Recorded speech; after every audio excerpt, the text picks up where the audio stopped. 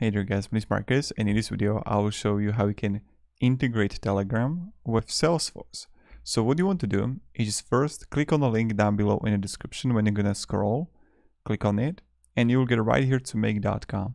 Make.com is an amazing company and it's going to help us with integrations and various templates and connections. And just sign up here and then when you're gonna do it, you want to go simply to scenario in your account. Then you want to go top right and click create new scenario. Click plus here and then in a search you want to find Telegram. And you can have Telegram bot here. So let's say send a text message or reply or pin a message or unpin. So I'm going to send a text message. You need to always like connect your tel your bot account with the token. And then you're gonna click plus here and then add another module Salesforce click on the Salesforce and let's say create a record. So when I'm going to get a text message or send a text message, I'm going to create a record.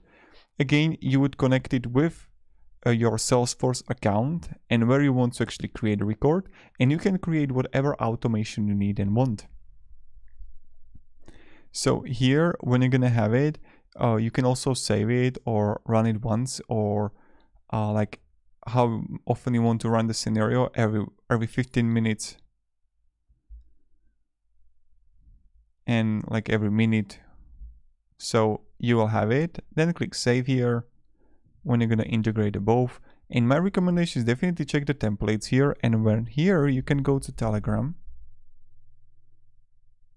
And you're going to have it, plenty of things that you can have here.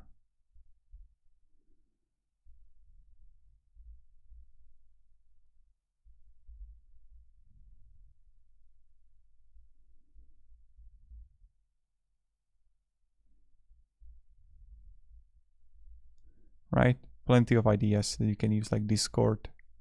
And that's pretty much it. So thank you very much guys for watching and have a great day and goodbye. See ya. So again, scenario and right here you're going to have it.